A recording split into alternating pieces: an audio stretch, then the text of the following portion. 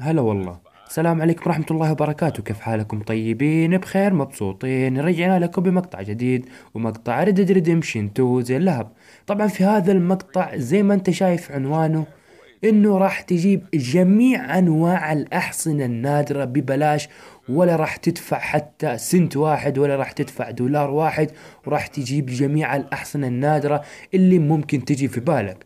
الحصان العربي الأسود الحصان العربي الأبيض الرصاصي ممكن يجيك ترى وأيضا مجموعة من الاحصنة النادرة التركمان الذهبي داتش وورم بلاد يعني مجموعة من الأحصنة النادرة راح ترسبن في هذا المكان وأي حصان ممكن تحلم فيه راح تحصله في هذيك المنطقة وببلاش وبدون ما تخسر أي شيء.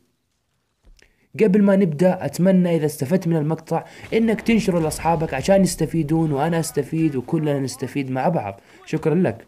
يلا نبدأ في المقطع. بالنسبة لمكان السحري أو المكان اللي راح ترسبن فيه له جميع الأحصنة النادرة راح يكون في هذا المكان. زي ما تشوفون في ال gameplay في مدينة السان دينيس أو في طرف مدينة السان دينيس أو المدينة الفرنسية زي ما تشوفون في ال gameplay. طبعا في هذا المكان راح يرسبن حصانين بشكل عشوائي وممكن تكون أحصنة نادرة أسطورية. طبعا أول شي راح تتوجه للمكان اللي حددته وقبل ما تخش جوا البس اللي هو قناعك وتأكد إنك لابس قناعك لأنه الموضوع فيه له سرقة. طبعا زي ما تشوفون أنا حصلت لي حصانين جديدة أول مرة أشوف أساميها وأيضا طاقاتها نوعا ما جيدة. طبعا إذا والله ما عجبني الأحصنة الموجودة هنا إيش أسوي؟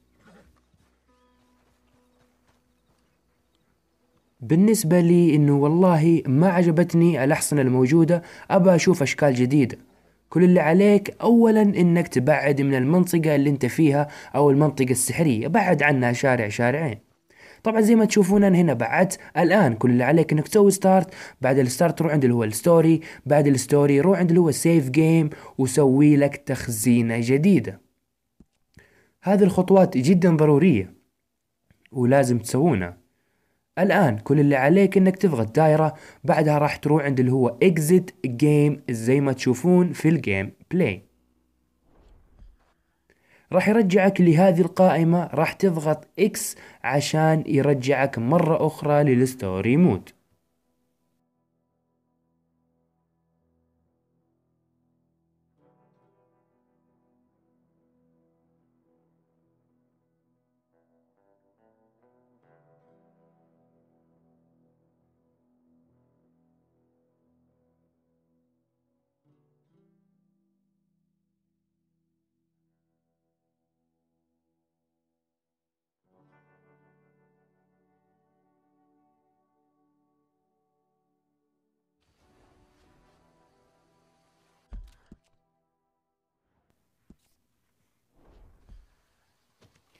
لما يرجعك لل story mode كل اللي عليك الآن إنك ترجع تتوجه لنفس المكان حقنا السري. راح تلاحظ إنه respawnت حصانين جديدة وكل نوع مختلف عن الآخر. طبعا هذا حصان جديد أنا ما أعرفه سويت له study عشان أعرف عنه معلومات. طلع اللي هو حصان ال Mustang أحد الأحصنة النادرة. الحصان الثاني طلع حصان ال Morgan لكن هو ما هو نادر لكن صراحة هذا لونه فخم. يعني انت ممكن تقابل أحصنة نادرة وممكن تحصل أحصنة آه ألوانها نادرة وألوانها فخمة. والله ما عجبتني الاثنين هذولا. أبى أشوف أشياء ثانية نفس الطريقة. story سوي save game سوي لك تخزينة جديدة. exit to exit game راح يرجعك للقائمة حقنا راح ترجع تضغط X راح يدخلك لل story mode مرة أخرى.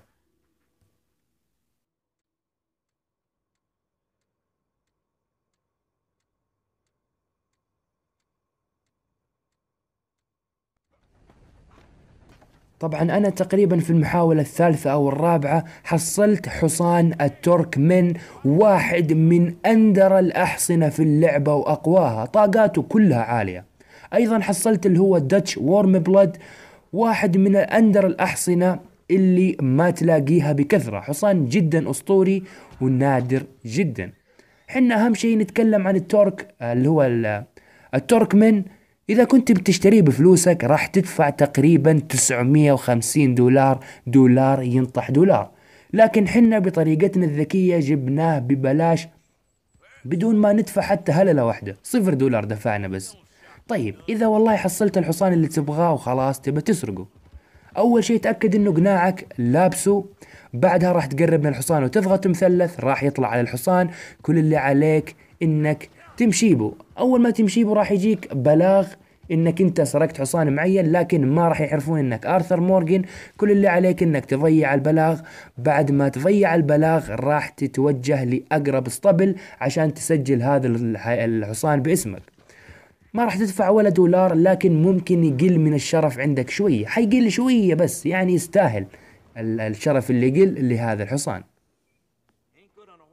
لما توصل الاسطبل وتخش بالحصان راح تضغط عليه مثلث عشان يحفظ لك إياه ويسجله باسمك أو يحطه في الاسطبل حقك. طيب بالنسبة لإيش التعديلات أو إيش أفضل التعديلات اللي ممكن أضيفها لأي حصان دائما أقول لكم أنا أهم أفضل التطويرات اللي تضيفها لأي حصان. واحد إنك تغير له الاسطبل وتركب له معليش تغير له السادل وتحط له سادل جديد هذا واحد. واثنين إنك تحط له شنطة جديدة وتكبر له إياها وتخليها أكبر.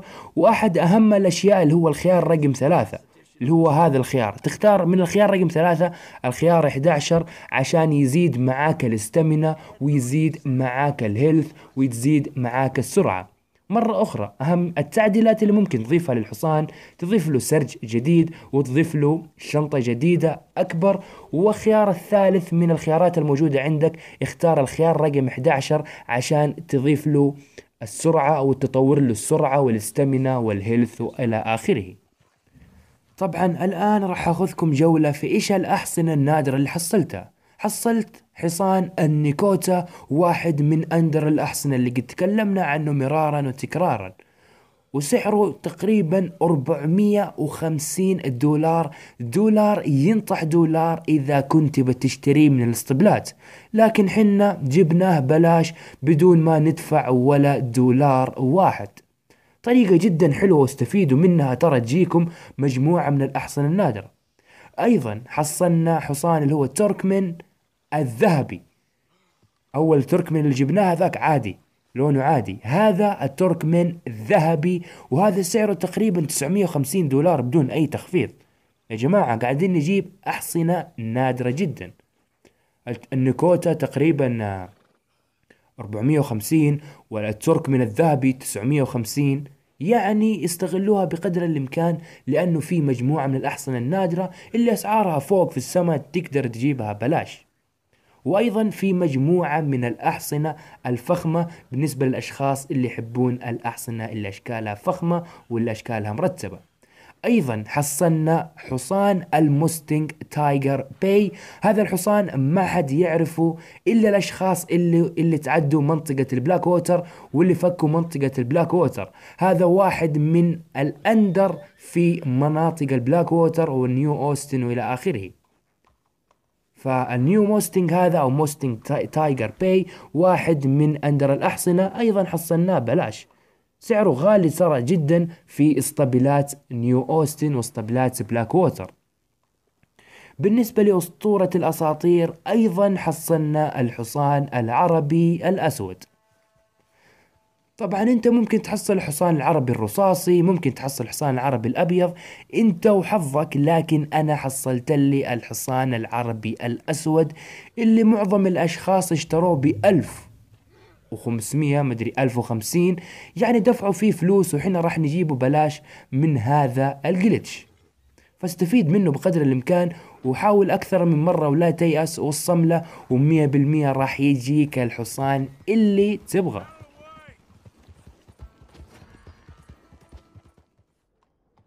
أيضا إنه هذه الطريقة ما يحتاج إنك تكون في chapter معين عشان تسوي هذه الطريقة. لا حتى ممكن تسوي هذه الطريقة حتى وأنت في ال chapter الأول أو ال chapter الثاني. يعني تقدر تسوي هذه الطريقة في أي chapter ما راح يحصرونك في chapter معين. طيب كذا وصلنا معاكم لنهاية المقطع. لا تحرمونا من ال like وال subscribe وتعليقاتكم الحلوة. وأتمنى أنكم تنشرون المقطع عشان الكل يستفيد وكل الأشخاص اللي يحبون لعبة ردد يعرفون القناة ويستفيدون وأنا أستفيد. يلا سلام عليكم. حط لايك ليجي كده.